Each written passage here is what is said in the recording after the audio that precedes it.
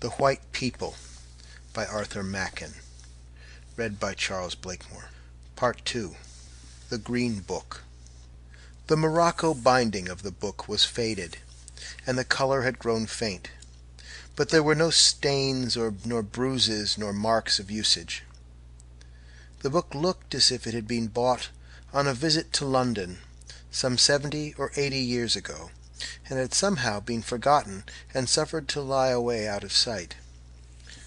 There was an old, delicate, lingering odor about it, such an odor as sometimes haunts an ancient piece of furniture for a century or more. The end papers, inside the binding, were oddly decorated with colored patterns and faded gold. It looked small, but the paper was fine, and there were many leaves, closely covered with minute, painfully formed characters. "I found this book," the manuscript began, "in a drawer in the old bureau that stands on the landing. It was a very rainy day, and I could not go out, so in the afternoon I got a candle and rummaged in the bureau. Nearly all the drawers were full of old dresses, but one of the small ones looked empty, and I found this book hidden right at the back. I wanted a book like this, so I took it to write in. It is full of secrets. I have a great many other books of secrets I have written, hidden in a safe place, and I am going to write here many of the old secrets and some new ones. But there are some I shall not put down at all.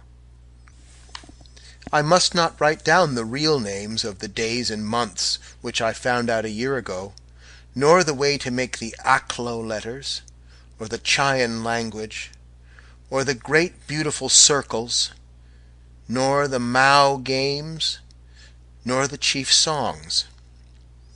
I may write something about all these things, but not the way to do them, for peculiar reasons. And I must not say who the nymphs are, or the Dôls, or Jeelo, or what voolas mean. All these are most secret secrets, and I am glad when I remember what they are and how many wonderful languages I know. But there are some things that I call the secrets of the secrets of the secrets that I dare not think of unless I am quite alone, and then I shut my eyes and put my hands over them and whisper the word, and the alala comes. I only do this at night in my room or in certain woods that I know, but I must not describe them, as they are secret woods. Then there are the ceremonies, which are all of them important, but some are more delightful than others. There are the white ceremonies, and the green ceremonies, and the scarlet ceremonies. The scarlet ceremonies are the best. But there is only one place where they can be performed properly, though there is a very nice imitation which I have done in other places. Besides these, I have the dances, and the comedy, and I have done the comedy sometimes when the others were looking and they didn't understand anything about it. I was very little when I first knew about these things. When I was very small and mother was alive, I can remember remembering things before that, only it has all got confused. But I remember when I was five or six I heard them talking about me when they thought I was not noticing.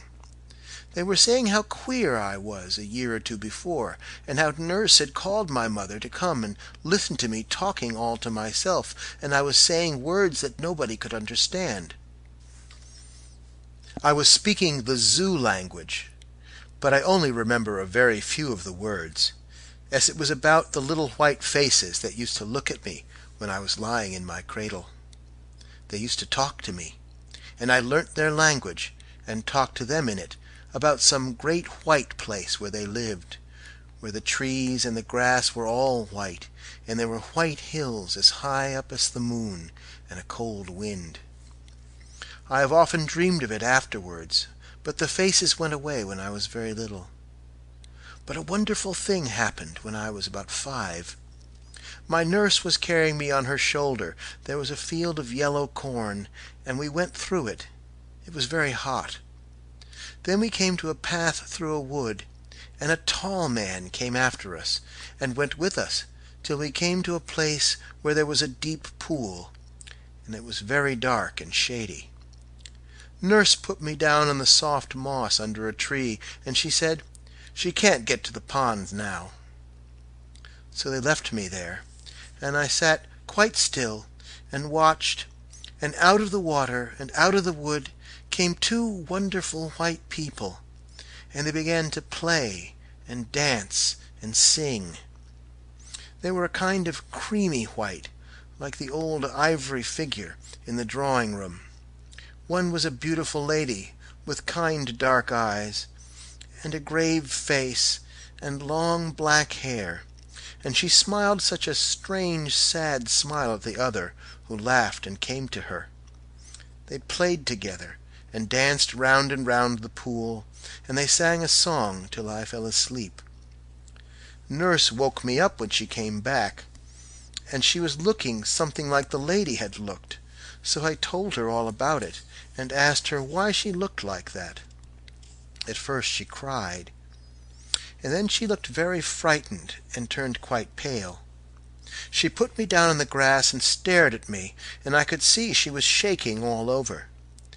Then she said that I had been dreaming, but I knew I hadn't.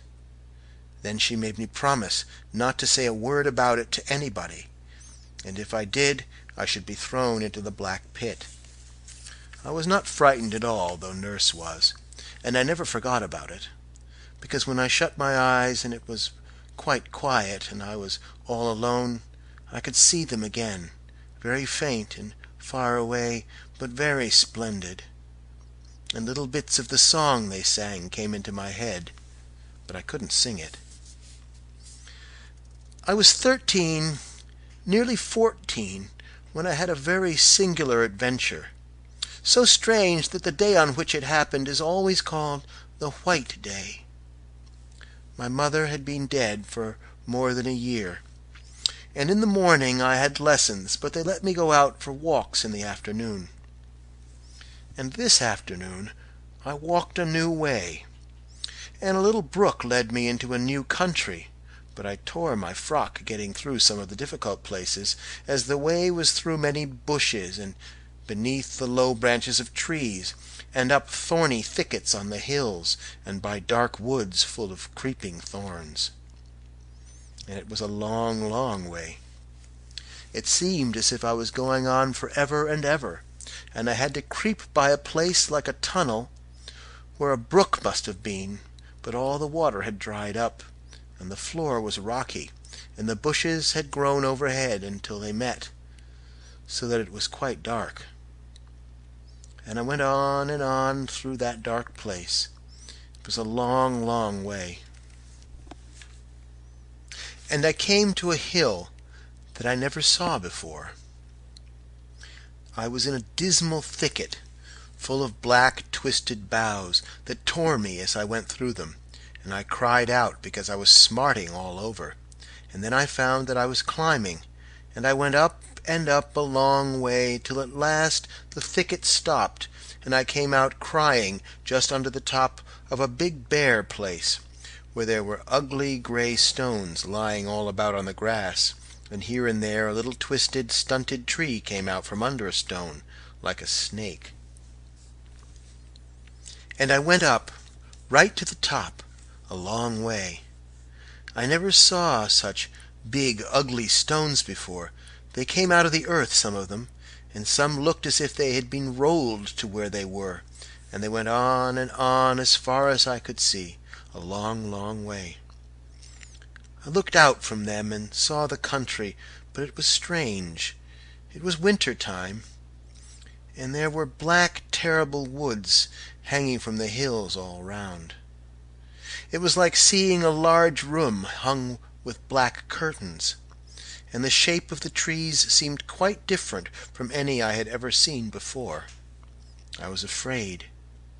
Then beyond the woods there were other hills round in a great ring, but I had never seen any of them. It all looked black, and everything had a voor over it.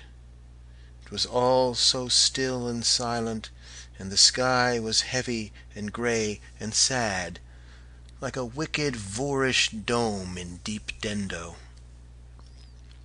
I went on into the dreadful rocks. There were hundreds and hundreds of them. Some were like horrid grinning men.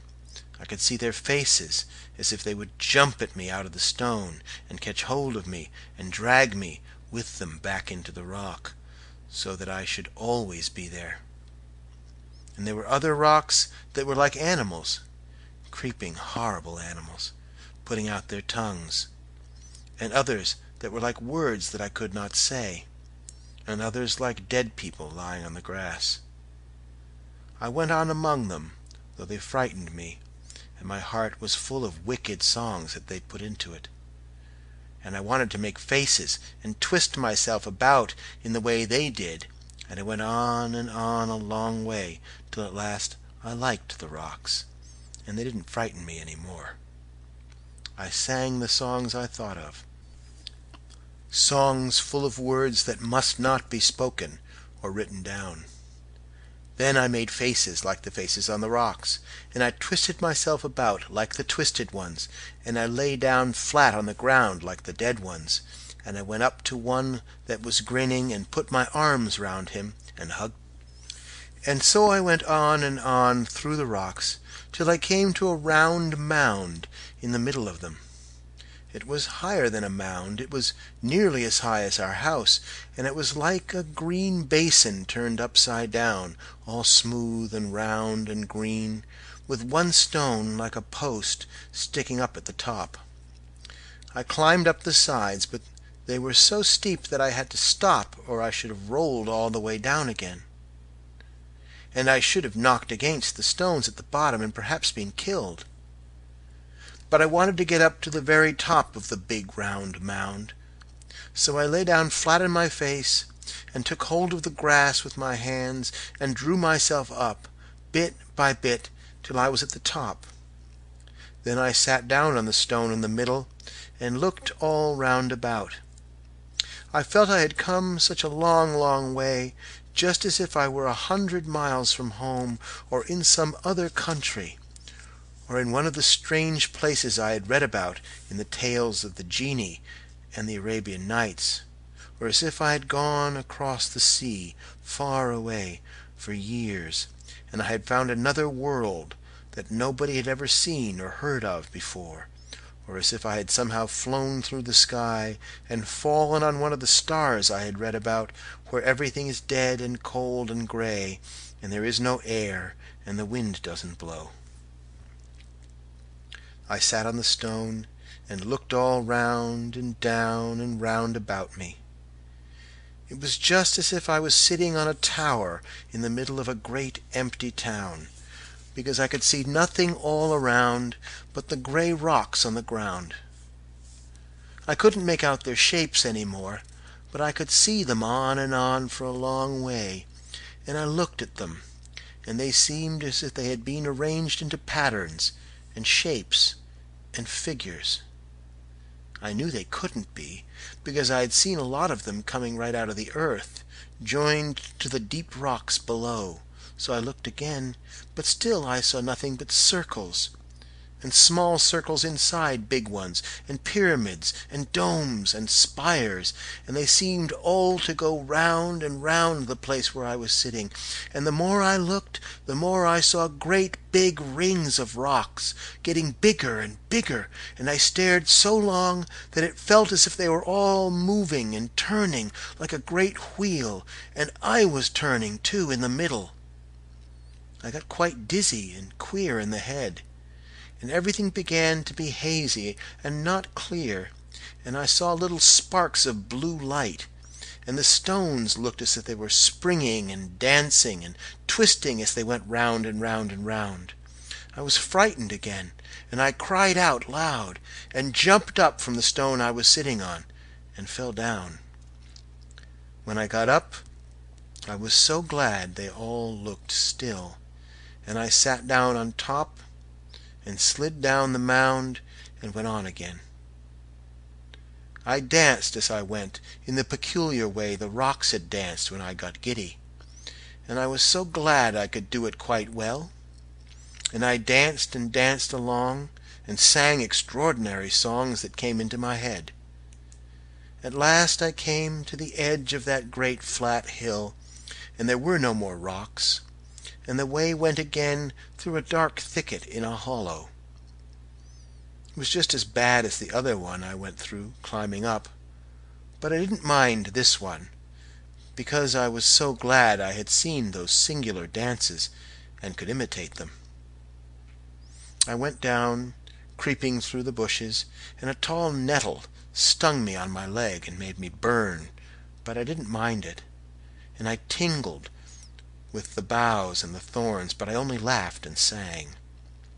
Then I got out of the thicket into a close valley, a little secret place like a dark passage that nobody ever knows of, because it was so narrow and deep and the woods were so thick round it. There is a steep bank with trees hanging over it, and there the ferns keep green all through the winter, when they are dead and brown on the hill. And the ferns there have a sweet, rich smell like what oozes out of fir trees. There was a little stream of water running down this valley, so small that I could easily step across it. I drank the water with my hand, and it tasted like bright yellow wine, and it sparkled and bubbled as it ran down over beautiful red and yellow and green stones, so that it seemed alive and all colors at once. I drank it, and I drank more with my hand but I couldn't drink enough, so I lay down and bent my head and sucked the water up with my lips. It tasted much better drinking that way, and a ripple would come up to my mouth and give me a kiss, and I laughed and drank again, and pretended there was a nymph, like the one in the old picture at home, who lived in the water and was kissing me. So I bent low down to the water and put my lips softly to it, and whispered to the nymph that I would come again. I felt sure it could not be common water. I was so glad when I got up and went on. And I danced again, and went up and up the valley under hanging hills. And when, I came to the top, the ground rose up in front of me, tall and steep as a wall, and there was nothing but the green wall and the sky. I thought of forever and forever, world without end, amen. And I thought I must have really found the end of the world, because it was like the end of everything, as if there could be nothing at all beyond except the kingdom of Voor, where the light goes when it is put out, and the water goes when the sun takes it away.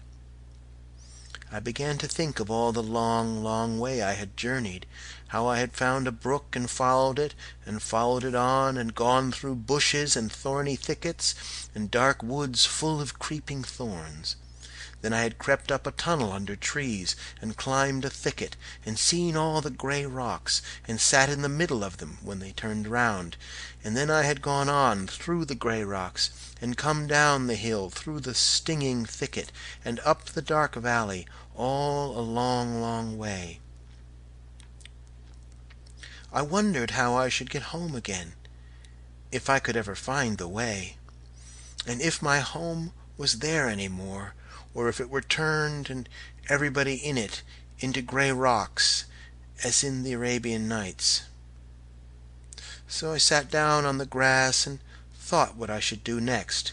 I was tired, and my feet were hot with walking, and as I looked about I saw there was a wonderful well just under the high steep wall of grass. All the ground round it was covered with bright green dripping moss.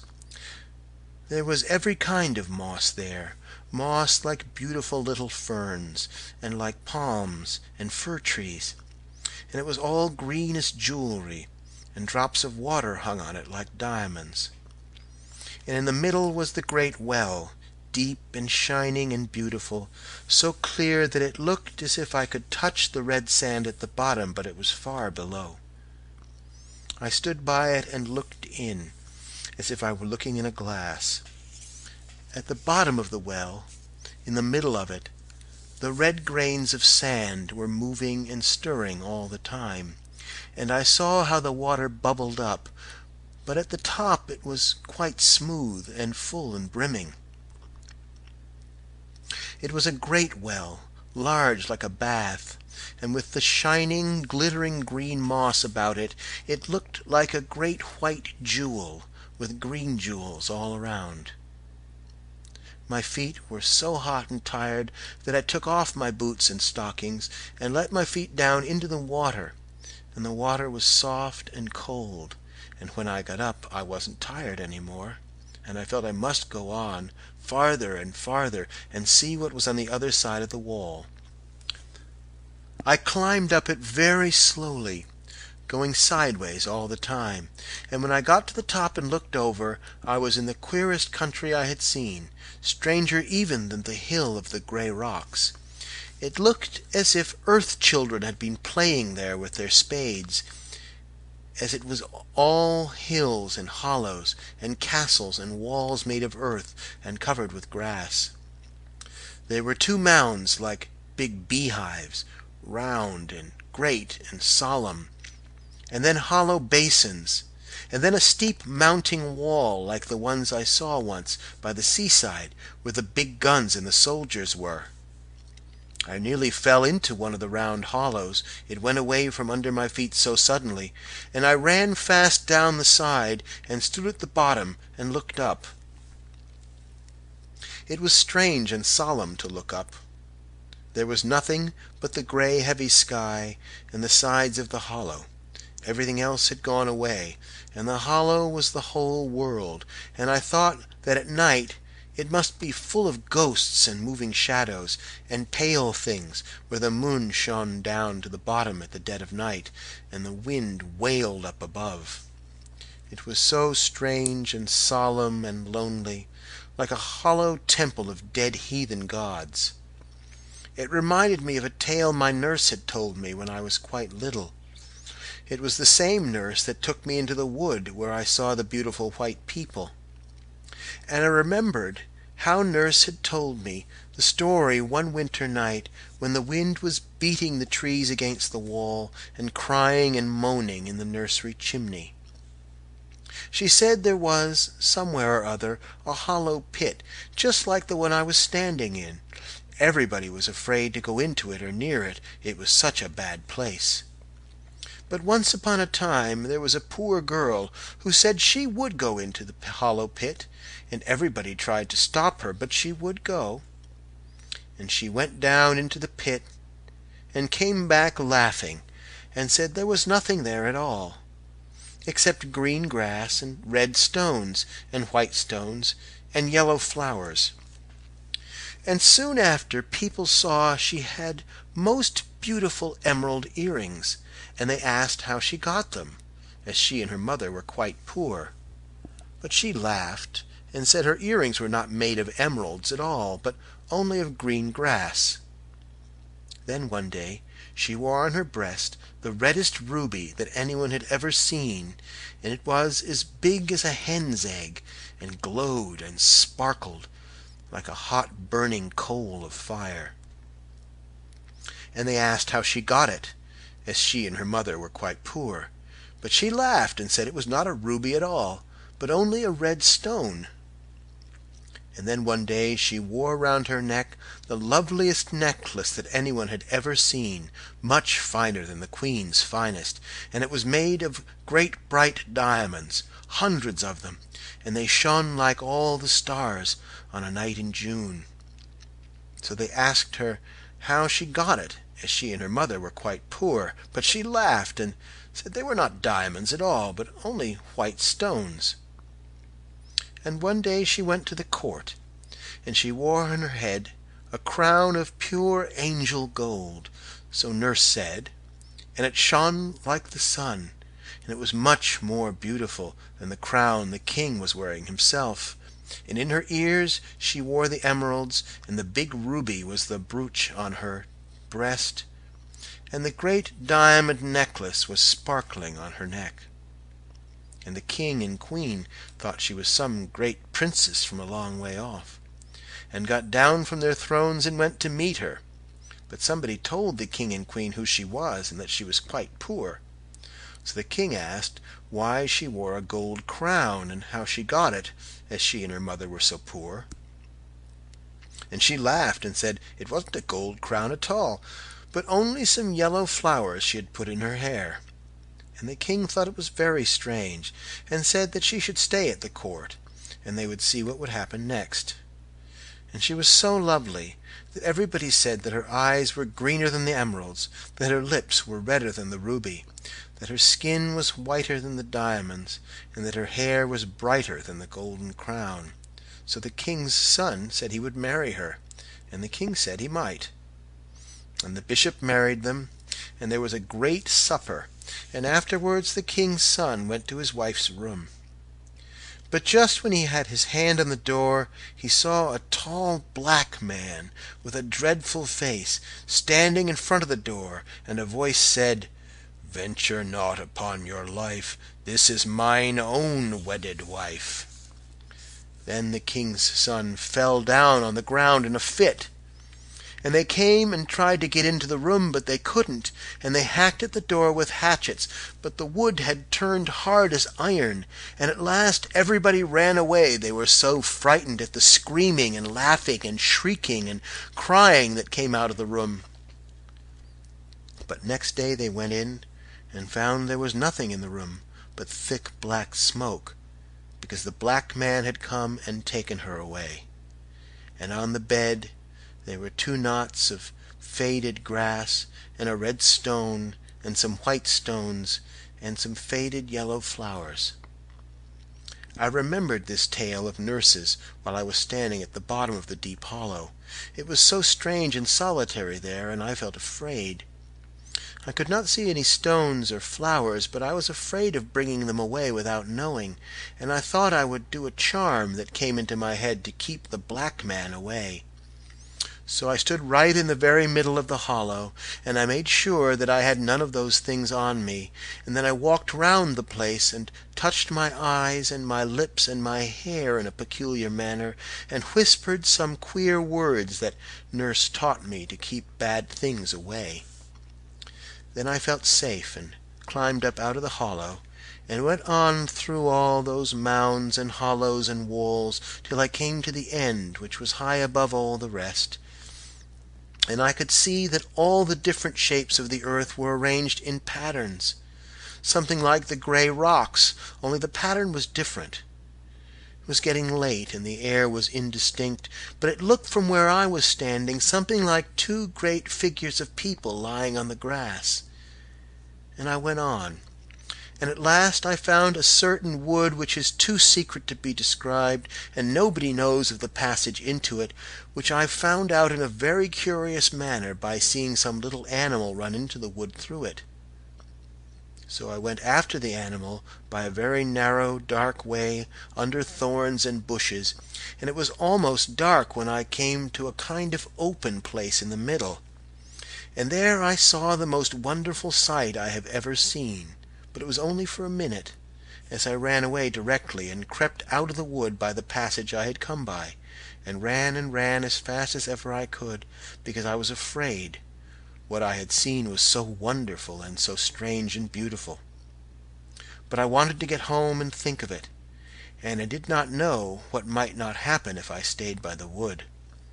I was hot all over, and trembling, and my heart was beating, and strange cries that I could not help came from me as I ran from the wood.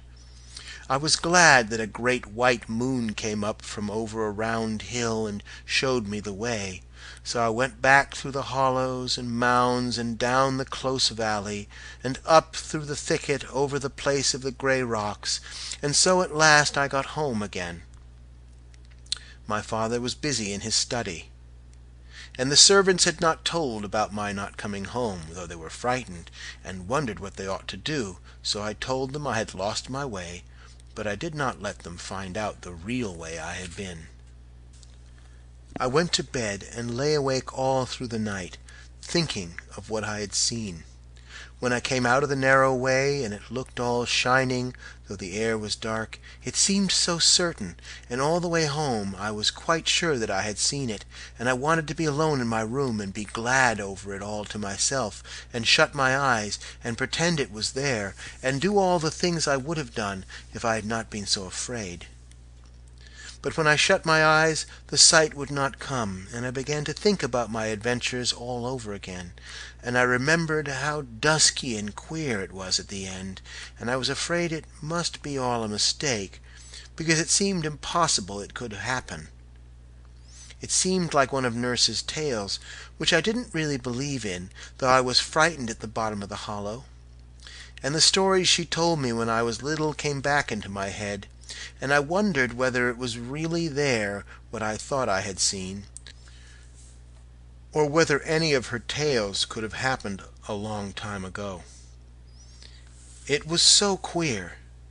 I lay awake there in my room at the back of the house, and the moon was shining on the other side towards the river, so the bright light did not fall upon the wall, and the house was quite still. I had heard my father come upstairs, and just after the clock struck twelve, and after the house was still and empty, as if there was nobody alive in it. And though it was all dark and indistinct in my room, a pale glimmering kind of light shone in through the white blind, and once I got up and looked out, and there was a great black shadow of the house covering the garden, looking like a prison where men are hanged. And then beyond it was all white, and the wood shone white with black gulfs between the trees. It was still and clear, and there were no clouds in the sky.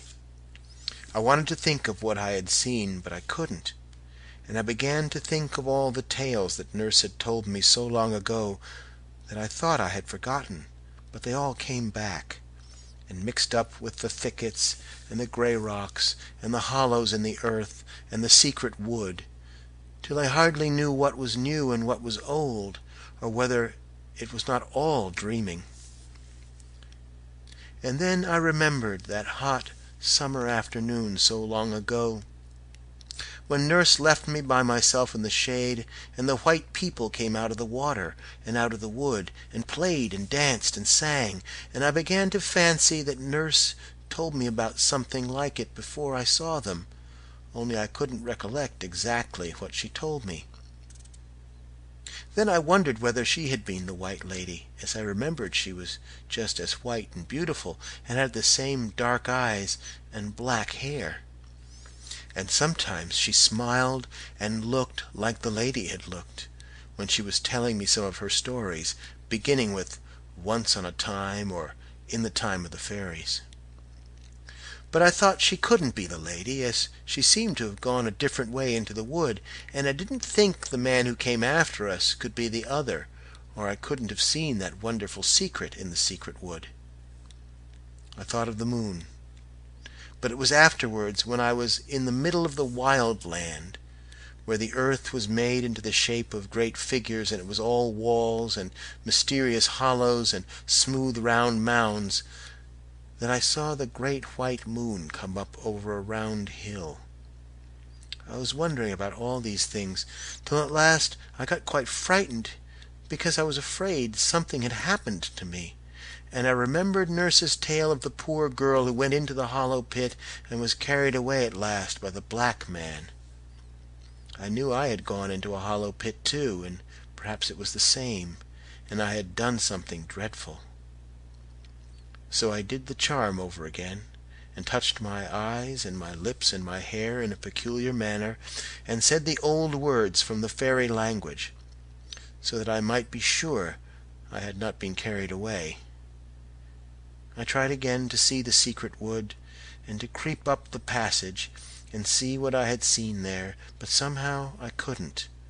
And I kept on thinking of Nurse's stories. There was one I remembered about a young man who once upon a time went hunting, and all the day he and his hounds hunted everywhere, and they crossed the rivers, and went into all the woods, and went round the marshes, but they couldn't find anything at all. And they hunted all day till the sun sank down and began to set behind the mountain. and the young man was angry because he couldn't find anything, and he was going to turn back when just as the sun touched the mountain he saw come out of a brake in front of him a beautiful white stag. And he cheered to his hounds, but they whined and would not follow, and he cheered to his horse, but it shivered and stood stock still, and the young man jumped off the horse and left the hounds, and began to follow the white stag all alone. And soon it was quite dark, and the sky was black without a single star shining in it, and the stag went away into the darkness. And though the man had brought his gun with him, he never shot at the stag, because he wanted to catch it, and he was afraid he would lose it in the night. But he never lost it once though the sky was so black and the air was so dark. And the stag went on and on till the young man didn't know a bit of where he was. And they went through enormous woods where the air was full of whispers, and a pale dead light came out of the rotten trunks that were lying on the ground and just as the man thought he had lost the stag he would see it, all white and shining in front of him, and he would run fast to catch it, but the stag always ran faster, so he did not catch it. And they went through the enormous woods, and they swam across rivers, and they waded through black marshes where the ground bubbled, and the air was full of will-o'-the-wisps, and the stag fled away down into rocky, narrow valleys, where the air was like the smell of a vault, and the man went after it. They went over the great mountains, and the man heard the wind come down from the sky, and the stag went on, and the man went after. At last the sun rose, and the young man found he was in a country he had never seen before. It was a beautiful valley, with a bright stream running through it, and a great big round hill in the middle. And the stag went down the valley towards the hill, and it seemed to be getting tired, and went slower and slower, and though the man was tired too, he began to run faster, and he was sure he could catch the stag at last. But just as they got to the bottom of the hill, and the man stretched out his hand to catch the stag, it vanished into the earth, and the man began to cry. He was so sorry that he had lost it after all his long hunting. But as he was crying he saw there was a door in the hill just in front of him, and he went in, and it was quite dark, but he went on, as he thought he would find the white stag and all of a sudden it got light, and there was the sky, and the sun shining, and the birds singing in the trees, and there was a beautiful fountain. And by the fountain a lovely lady was sitting, who was the queen of the fairies, and she told the man she had changed herself into a stag to bring him there because she loved him so much. Then she brought out a great gold cup covered with jewels from her fairy palace, and she offered him wine in the cup to drink. And he drank, and the more he drank the more he longed to drink because the wine was enchanted. So he kissed the lovely lady, and she became his wife. And he stayed all that day and all that night in the hill where she lived. And when he woke he found he was lying on the ground close to where he had seen the stag first, and his horse was there, and his hounds were there waiting. And he looked up and the sun sank behind the mountain. And he went home and lived a long time, but he would never kiss any other lady, because he had kissed the queen of the fairies, and he would never drink common wine any more, because he had drunk enchanted wine. And sometimes a nurse told me tales that she had heard from her great-grandmother, who was very old, and lived in a cottage on the mountain all alone and most of these tales were about a hill where people used to meet at night long ago, and they used to play all sorts of strange games, and do queer things that nurse told me of, but I couldn't understand. And now, she said, everybody but her great-grandmother had forgotten all about it, and nobody knew where the hill was, not even her great-grandmother. But she told me one very strange story about the hill, and I trembled when I remembered it. She said that people always went there in summer when it was very hot, and they had to dance a good deal. It would be all dark at first, and there were trees there, which made it much darker, and people would come one by one from all directions by a secret path which nobody else knew, and two persons would keep the gate, and every one as they came up had to give a very curious sign, which Nurse showed me as well as she could, but she said she couldn't show me properly. And all kinds of people would come. There would be gentlefolks and village folks, and some old people, and boys and girls, and quite small children who sat and watched. And it would all be dark as they came in, except in one corner where someone was burning something that smelt strong and sweet and made them laugh. And there one would see a glaring of coals, and the smoke mounting up red. So they would all come in, and when the last had come there was no door any more, so that no one else could get in, even if they knew there was anything beyond. And once a gentleman who was a stranger and had ridden a long way, lost his path at night, and his horse took him into the very middle of the wild country, where everything was upside down, and there were dreadful marshes, and great stones everywhere, and holes underfoot, and the trees looked like gibbet posts, because they had great black arms that stretched out across the way. And this strange gentleman was very frightened, and his horse began to shiver all over and at last it stopped and wouldn't go any farther. And the gentleman got down and tried to lead the horse, but it wouldn't move, and it was all covered with sweat, like death. So the gentleman went on all alone, going farther and farther into the wild country, till at last he came to a dark place, where he heard shouting and singing and crying like nothing he had ever heard before. It all sounded quite close to him, but he couldn't get in, until he began to call, and while he was calling something came behind him, and in a minute his mouth and arms and legs were all bound up, and he fell into a swoon. And when he came to himself, he was lying by the roadside, just where he had first lost his way, under a blasted oak with a black trunk, and his horse was tied beside him. So he rode on to the town and told the people what had happened, and some of them were amazed, but others knew. So when once everybody had come, there was no door at all for anybody else to pass in by. And when they were all inside, round in a ring, touching each other, some one began to sing in the darkness, and some one else would make a noise like thunder with a thing they had on purpose, and on still nights people would hear the thundering noise far, far away beyond the wild land, and some of them, who thought they knew what it was, used to make a sign on their breasts when they woke up in their beds at dead of night and heard that terrible deep noise like thunder on the mountains. And the noise and the singing would go on and on for a long time, and the people who were in a ring swayed a little to and fro, and the song was in an old, old language that nobody knows now, and the tune was queer. Nurse said her great grandmother had known someone who remembered a little of it when she was quite a little girl, and Nurse tried to sing some of it to me, and it was so strange a tune that I turned all cold and my flesh crept as if I had put my hand on something dead. Sometimes it was a man that sang, and sometimes it was a woman, and sometimes the one who sang it did it so well that two or three people who were there fell to the ground shrieking and tearing with their hands.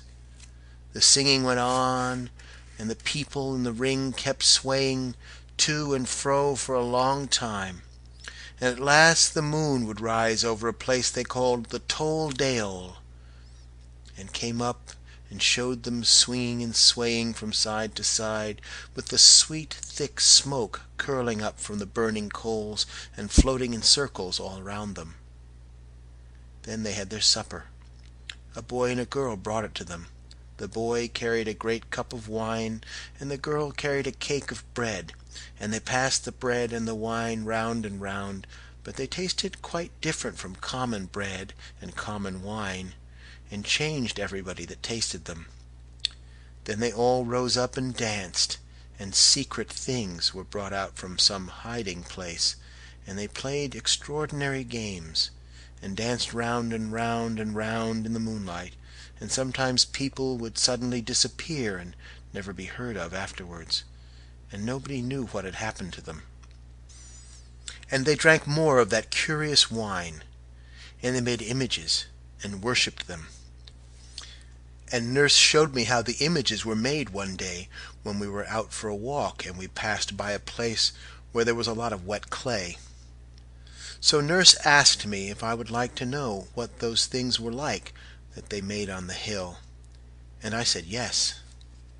Then she asked me if I would promise never to tell a living soul a word about it, and if I did I was to be thrown into the black pit with the dead people, and I said I wouldn't tell anybody and she said the same thing again and again, and I promised. So she took my wooden spade and dug a big lump of clay, and put it in my tin bucket, and told me to say if anyone met us that I was going to make pies when I went home. Then we went on a little way until we came to a little brake growing right down into the road, and nurse stopped and looked up the road and down it, and peeped through the hedge into the field on the other side, and then she said, "Quick!" and we ran into the brake, and crept in and out among the bushes until we had gone a good way from the road. Then we sat down under a bush, and I wanted so much to know what nurse was going to make with the clay. But before she would begin, she made me promise again not to say a word about it and she went again and peeped through the bushes on every side, though the lane was so small and deep that hardly anybody ever went there. So we sat down, and nurse took the clay out of the bucket and began to knead it with her hands and do queer things with it and turn it about. And she hid it under a big dock leaf for a minute or two, and then she brought it out again. And then she stood up and sat down and walked round the clay in a peculiar manner, and all the time she was softly singing a sort of rhyme, and her face got very red.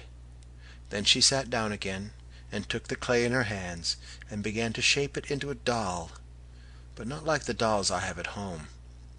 And she made the queerest doll I had ever seen, all out of the wet clay, and hid it under a bush to get dry and hard, and all the time she was making it she was singing these rhymes to herself, and her face got redder and redder. So we left the doll there, hidden away in the bushes where nobody would ever find it. And a few days later we went the same walk, and when we came to that narrow dark part of the lane where the brake runs down to the bank, nurse made me promise all over again, and she looked about just as she had done before, and we crept into the bushes till we got to the green place where the little clay man was hidden.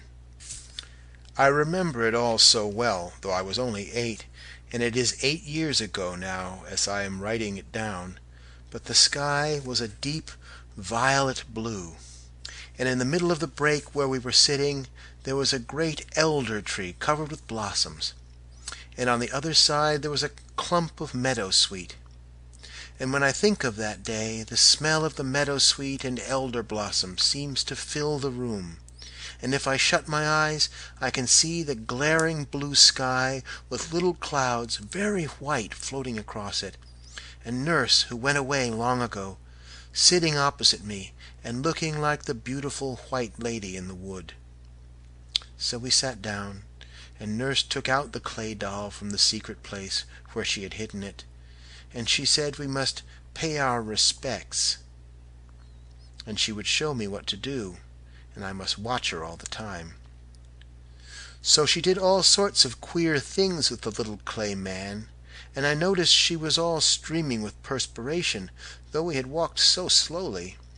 And then she told me to pay my respects, and I did everything she did because I liked her, and it was such an odd game and she said that if one loved very much, the clay man was very good, if one did certain things with it, and if one hated very much, it was just as good, only one had to do different things. And we played with it a long time, and pretended all sorts of things. Nurse said her great grandmother had told her all about these images, but what we did was no harm at all, only a game. But she told me a story about these images that frightened me very much, and that was what I remembered that night as I was lying awake in my room in the pale, empty darkness, thinking of what I had seen and the secret wood.